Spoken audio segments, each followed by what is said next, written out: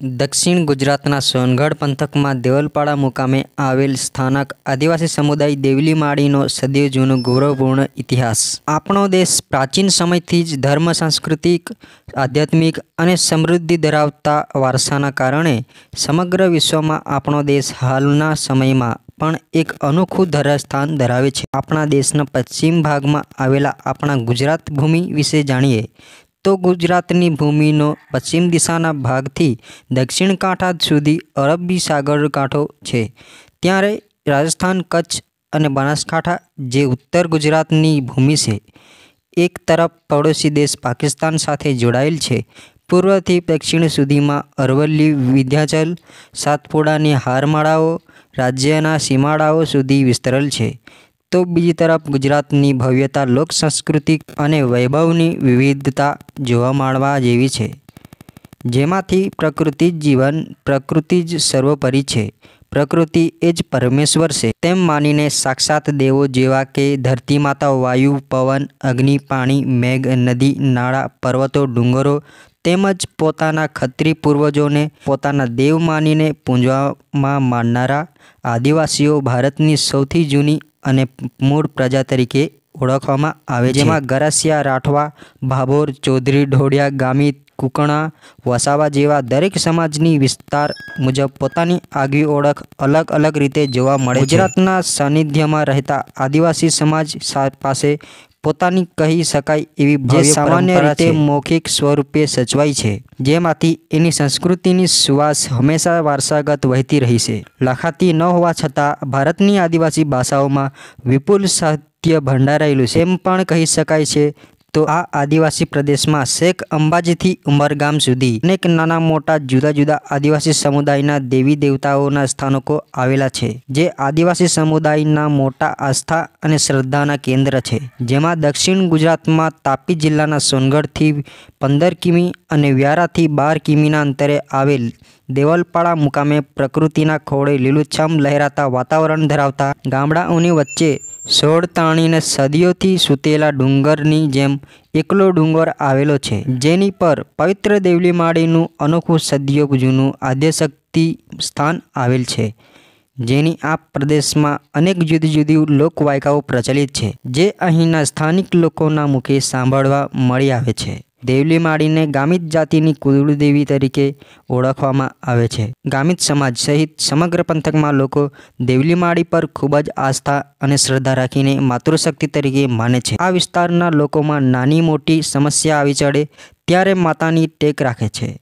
જેમાં ખેતરમાં પાક ના ઉતરવો, ઘરમાં અન્નની સમસ્યા, પતિ પત્ની હોય તો તેમના બાળકો ના થવા, પશુઓમાં બીમાર પડ્યા હોય, ખેતરના બોર કૂવામાં પાણી લાવવા, નોકરી ધંધો થતો ન હોય, તેવી અનેક મુશ્કેલીઓમાં દેવલી માળીની માનતા રાખે છે. માનતા રાખતા સમયે તેઓ ગામમાં સ્થાપેલ માળીના સ્થાનકે કે પછી દેવલી માળી જઈને નાહી ધોઈને શ્રીફર અગરબત્તી સવા રૂપિયો તથા હાથ રૂમાલમાં ચોખા રાખીને માળીના સ્થાને જઈ પગે પડીને પોતાની માનતા રાખે છે. તે કામ પૂર્ણ થતાં જ બોલી કરી હોય એ પ્રમાણે તેઓ પૂજા કરવામાં આવે છે. તો સ્થાનિક રીત રિવાજ અનુસાર વાર તહેવાર કુટુંબીજનો તથા આખા ગામના લોકોને આમંત્રિત કરીને વિધિવત પૂજા કરવામાં આવતી હોય છે. ડુંગરની ઉપર પથ્થરની નાની ગુફા આવેલ છે.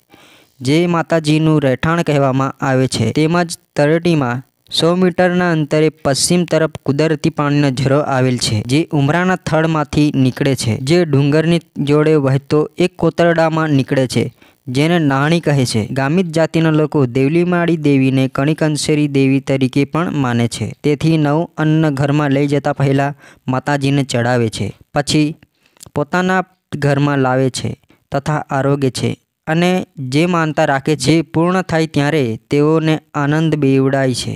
અને માનતા પૂર્ણ કરવા તેઓ ઉત્સાહમાં આવે છે અને જે વસ્તુ ખરીદી હોય, તે વસ્તુની કિંમત કદી ઓછી કરાવતા નથી. તેઓ માનતા પૂર્ણ કરવા માટે જે દિવસે નક્કી કર્યો હોય, એ દિવસેના આગલા દસ પંદર દિવસ આગળ બકરો, મરઘો ખરીદી મૂકે છે તથા ભગત પાસે જઈ માનતા પૂરી કરવાનો પ્રસ્તાવ મૂકે છે. પૂંજારી જે માતાનો પૂંજારી કહેવાય છે, તે માનતા રાખેલ દિવસે જે રૂમાલમાં ચોખા બાંધ્યા હોય તે હાથમાં લઈને દાણા જોવે છે.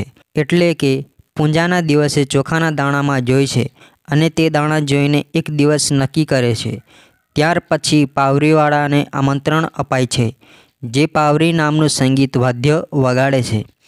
ત્યાર પછી ટાપરાવાળાને આમંત્રણ અપાય છે, જે વાંસનું કાપેલું હોય છે અને તે રિધમમાં વગાડતો હોય છે. અને પછી માનતા રાખનાર વ્યક્તિ જે દિવસે નક્કી થયો હોય, તે દિવસના તેમના સગાવાળાને નિવૃત્ત નોતરું આમંત્રણ આપવા ઘરે ઘરે જાય છે. જ્યાં ખાખરાના પાનમાં હળદર કંકુ ને ચોખા ભેળવીને એક પૈસાનો સિક્કો મૂકી ખાખરાના પાનની પૂડી બનાવી પોતાના સગાવાલાને જે પૂડી આપે છે સાથે તેમને કહે છે અમાહી દેવલી માળીએ ટેક રાખીએલ ને તી પૂરા જાય અહીં આમી આમે દેવલી માળીએ દેવારા જાયના હિયે તેન તુમ્હાન બી યા પડી. જ્યાં હાટી આમાં તુમ્હાલ નિવૃત્ત યનહા. તુમ્હાલ ગમે તી ઉવે દેવારા યા પડી. રામ રામ. અમે દેવલી માળીની માનતા રાખી હતી, તે સફળ થઈ છે. એ માનતા પૂરી કરવા માટે દેવલી માળી જવાનું હોવાથી અમે તમને આમંત્રણ આપવા આવ્યા છીએ. તો તમારે ચોક્કસ આવવાનો છે. એવું અમારું ભાવભર્યું આમંત્રણ છે. રામ રામ. આ રીતે સામેનો વ્યક્તિ રામ રામ બોલે તો આમંત્રણ સ્વીકાર્યું ગણાય. અને તેઓ દેવારા સ્થાનકે આવશે.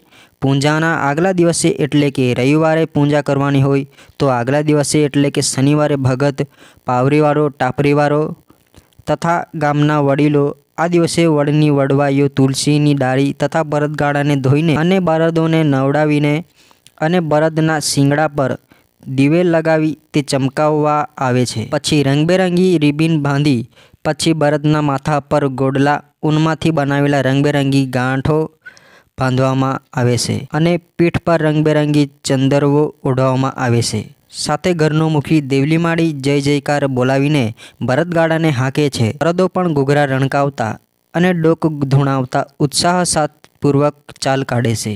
પાવરી તથા ટાપરીવાળા રસ્તે કે શેરીઓમાં વાજિંત્ર દ્વારા સંગીતના સૂર રેલાવતા આજુબાજુ વિસ્તારના પ્રાકૃતિક વાતાવરણને ગુંજાવતા સોનગઢ કે વ્યારા બજાર ફરવા જાય છે. જ્યાં કુંભારને ત્યાં જઈને પ્રથમ બહાણી દેવના સ્થાને કે મૂકવામાં આવતી કાદવની મૂર્તિ.